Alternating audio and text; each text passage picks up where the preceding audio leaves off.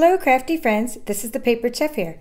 And in today's tutorial, we're going to be cutting out this cute animal patterned paper using the Brother Scan and Cut. The paper is by Stampin' Up and it's called Animal Expedition Designer Series paper. Let's get started. I've already cut out a partial sheet of this paper and now I've left a few images to cut out together and I want to tell you a couple tricks that I learned along the way. Now, first of all, the trick with the giraffe. It's very important when you scan with the Brother Scan and Cut that lines are enclosed. So my little trick was to take a pencil and enclose this line here with the giraffe. I just took, I just go like this, and I'm just enclosing this line. I'm using a pencil and I can erase that again later. And if I want the little eyebrows of the frog to be outlined, like the eyebrows are included, you see those little eyebrows, but if I want them to be outlined, I'm actually going to need to draw around the frog. You know, maybe like that. Actually, I can just draw around the whole frog. If I want the eyebrows. I'm saying it'll make a bigger outline than that, but that's if I want the eyebrows to be fully outlined. I don't actually, I'm just showing you little tricks that I learned. And then the monkey, I didn't realize it didn't cut out all the way. So here's the upside down monkey. Or he's not a monkey. Is he a monkey? I guess he is.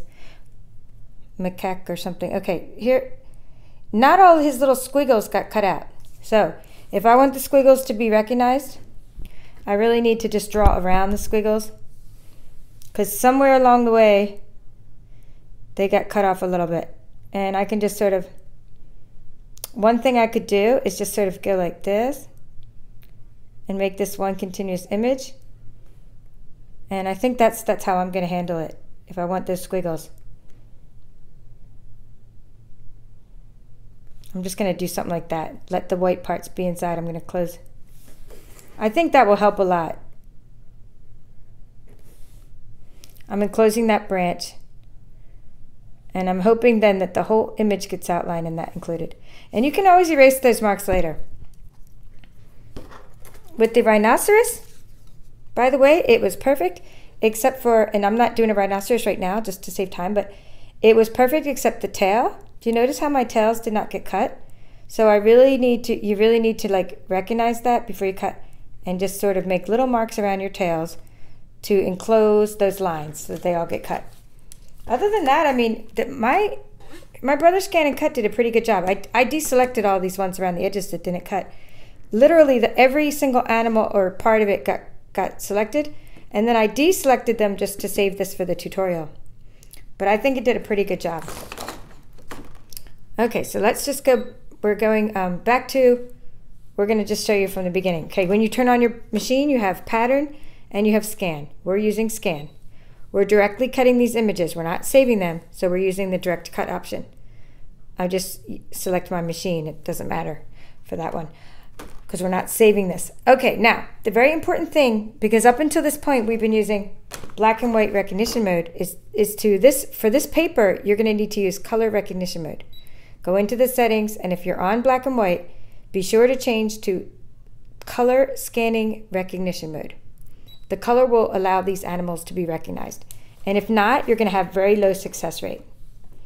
And, and that even goes for the stamps, but I'll have to talk about that while it's cutting. Let's load the paper. I mean, not, let's load the mat with that button there. Let's start. And it's very important, let me move this way, to not cover up your registration marks. That's these numbers on the machine because if you cover these up, it will not be able to scan properly. At the same time, these mats are not very sticky. That's why I put some painter's tape in the middle. And now I'm going to put some painter's tape on the outside after I do my scanning. I'm going to say frame the image. Oops, cancel that. I, I meant to frame the image. It, yeah, uh, frame the image means select the part of the image you want to cut. And I just want to cut that part. This kangaroo, this monkey, and this giraffe. That's what frame the image means. I don't want to cut the whole thing. Because otherwise it's going to cut these pieces over there. And we, we don't want to do that because it will take forever. All right, so it's recognizing now. It'll be quicker to recognize because I've framed the image. And I can go ahead and take some painter's tape. And I can go ahead and I can, you know, tape the paper and cover up the registration marks if I want. Okay, did a good job because all I want to cut is the kangaroo, the monkey, and the giraffe, and this little chameleon lizard and that bird. So let's just do a couple things. We're going to say, okay, the threshold of five is good. That means it's the number of colors threshold, but that's that's actually a good number because it selected everything I wanted it to select. I'm going to delete those extra bits manually instead of ignoring object size. I'm going to put an outline distance around my images of 0.04 because that's how I roll. I like to use that outline distance. I'm going to go ahead and say OK. And it's going to say there's a part of the paper outside of the area that's fine because it's saying that this little bit over here won't cut. I don't want to cut that little bit over there anyway. Now, this is the time I'm going to show you how to edit. You could just leave all these stray bits. It wouldn't hurt anything, but it would take a lot of time. So let's go into the editing mode. That's the one with the little shapes. And I'm just going to select them using my stylus, which I would be using if I could find it. Oh, here's my stylus. Let's use my stylus. Here's my stylus. That came with it. And I'm just selecting and hitting the trash button. Don't delete your draft. Don't delete your monkey, your kangaroo. Just any stray bits of animals that you don't want to cut, like this partial rhino. He's not going to get cut because he's only partial. And the back of that paper is really adorable. I'll show it to you. Well, it's, oh, that's the bird. We want to keep the bird selected. And that looks like another bird down there. All right, great. I'm to say okay. Oh, one more. There's another stray bit. Back to the editing mode. There's a stray bit. Let's zoom in and see how it looks. Nice. The kangaroo selected, the bird, chameleon, giraffe, monkey. And it did a good job with, with what I wanted it to do. It got my squiggles, which it didn't get the first time on them. So we're happy. I'm to go ahead and say cut. Before I do that, I want to tell you one thing, that I'm using a blade depth of 4 because when I use designer series paper, when I cut designer series paper, I use a blade depth of 4. And that's by Stampin' Up. If you use other papers, just, you know, run a test cut to see what you need. Okay, let's go ahead and say cut. And I've already added some extra painter's tape. So nothing slips during the cut. It's only going to take a minute, but I want to show you during that minute. I'm to go ahead and say okay. Start. Ignore that message about not cutting the area. I want to go ahead and show you the other papers in this in this awesome pack called Animal Expedition. So that's the first piece, and on the back has this nice giraffe pattern. Okay, just showing you all the papers. These are going to be great to cut with the Brother Scan and cut these smaller animal patterns.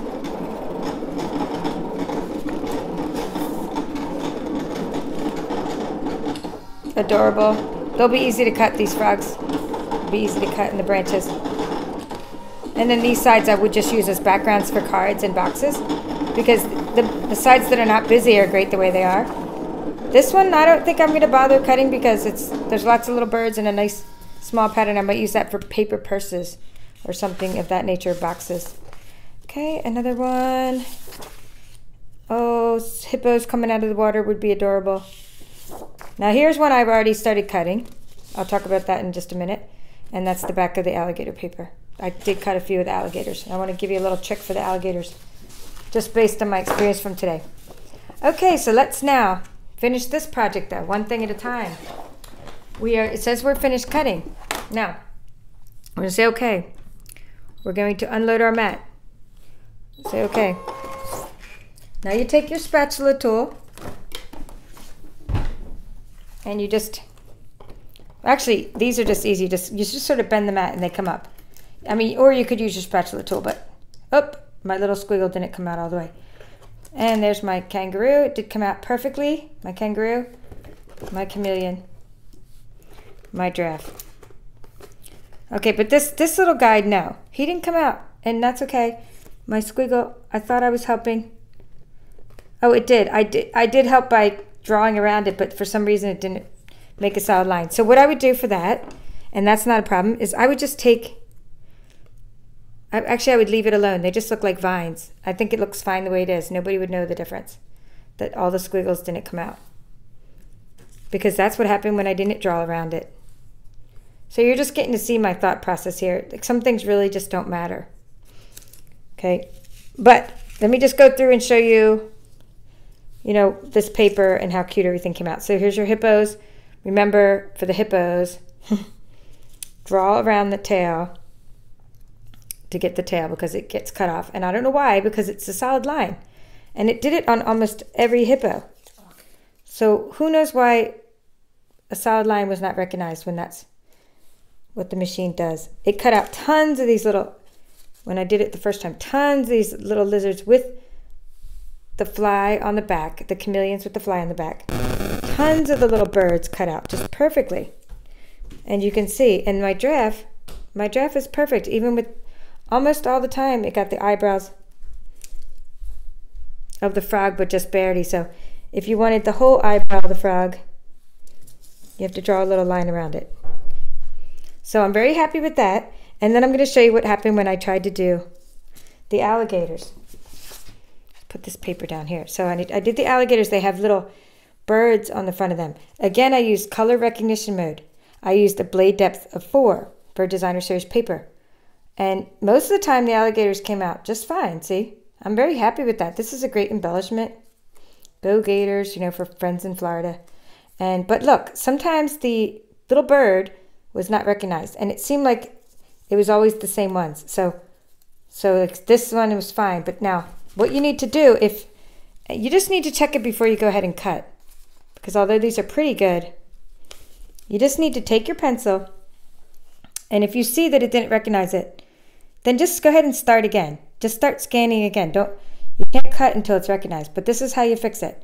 If you see a bird is not attached to your alligator, just take your pencil and enclose the lines.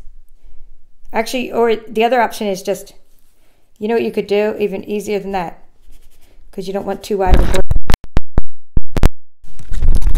Sorry, dropped my microphone. Okay, you could just take your pencil. Put my microphone back. Sorry if it's a little noisy because it dropped. Uh, you could just take your pencil and you could draw over the lines of the bird. So here's another way to fix that. If you see all the birds are not coming out right, you just take your pencil and draw over the little bird's legs. Now that way, this whole image will be recognized perfectly. Now, if your bird did not come out, it doesn't matter. I mean, does that matter at all? No. You, I'm just going to snip, you know, this part here. I actually use something, I can use like white, my white markers, or just snip that part off. Because Or you just cut out the bird separately, or one, use one of the birds from that other paper and just stick the bird. I can just stick a different bird on there. I mean, it's no big deal. You can just fix it in many ways. So, two papers from Animal Expedition. But I'd be remiss not to show you this very, very cool suite. And if you're interested, I have links to my Stampin' Up! store at the bottom in the description of this tutorial. Check out the Animal Expedition Suite. It just came out in June in our annual catalog. Okay, here's some projects made with it. This is on page 26 and 27 of our catalog, which is available on our website, of course, electronically. But if you are interested in a paper copy, you need to contact me personally. Okay, you see, this is the paper down here that we're using, designer series paper. But it comes with other, this suite comes with a stamp set, which is pretty awesome. And it has, you can also do use the Brother Scan and Cut to cut out the stamped images. Now, for when I did that with the Animal Outing stamp set, I had a really great deal of success. But again, I had to use color recognition mode, even though these are black and white, which is kind of new for me to have to do with a black and white image. But the reason is, is these are more, this is more like grayscale almost. The way the artist used all these little dots to make these images, you have to actually look closely to see. But that's why I had to use black and white recognition, I mean color recognition mode. And then what I did is I colored in for the stamps. In case any of you are watching, I already have the set. See? I had to color in this giraffe at the bottom with a, I had to make a line, not color, but a line so that it would recognize the giraffe. And when I didn't make a line, it would cut all this weird stuff at the bottom of the giraffe's head. Okay, so that's the Animal Expedition uh, suite. This is the Animal Outing stamp set. I showed you the designer series paper. Um, I want to show you a couple more things. Because this is like my, I think my new favorite ribbon in the catalog for sure. Okay, let's see. We're going to look at what it's called. It's called Leaf Ribbon. Okay, so here's this awesome, awesome ribbon. So please check my blog, thepaperedchef.com, and see what I do with this ribbon. I think it's going to make a great trim on boxes, little three-dimensional boxes, and, and it's going to be great for cards. My mom already wants to use it because she makes like bags for our Etsy store, and she wants to use it already to like trim her animal pattern bags. It's just gorgeous, gorgeous ribbon. And lastly, I have not opened these yet, but I'm going to open them right now for you. They're called Frames Elements. And not lastly, there's actually also cardstock coordinating and dies. So there's more things, but this is just what I have so far. This is my second favorite suite. By the way, my first favorite suite is called Sea of, sea of Textures. Okay. Ah, I may have got the name wrong. Okay, but here we go. This is my second favorite. Animal Expeditions is super cute. Now it came with all these, there's these wood elements. So what you could do is take your blends markers or your Stampin' Up markers and you can color in these wood elements. That's what I did when I got some of these in one of my paper pumpkin kits. You can stamp right onto the wood. You can stamp sentiments right onto the wood. How super cute are these sentiments that come and they make your projects 3D. So I'll just take out the other sheets. I can't wait to color them and use those to add dimension to my project. Okay, and those are called frames elements. So thank you for watching. This is the Papered Chef, so please subscribe to my channel for more videos like this one. I appreciate your comments and questions as well.